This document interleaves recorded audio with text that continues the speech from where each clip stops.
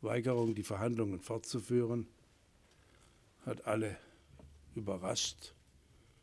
Und es war nicht unsere Entscheidung, den Prozess abzubrechen. Es war anders vereinbart. Das ist die alleinige Verantwortung der Regierung in Athen.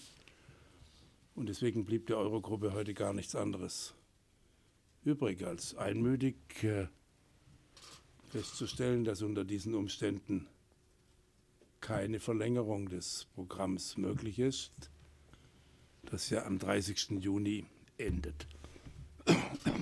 Griechenland kommt. Wäre das oder ist das aus Ihrer Sicht eine Abstimmung oder eine Entscheidung über Wir sind uns völlig klar, dass wir alles tun werden, um jede denkbare Ansteckungsgefahr äh, zu bekämpfen. Der Euro, die Eurozone, die Europäische Währungsunion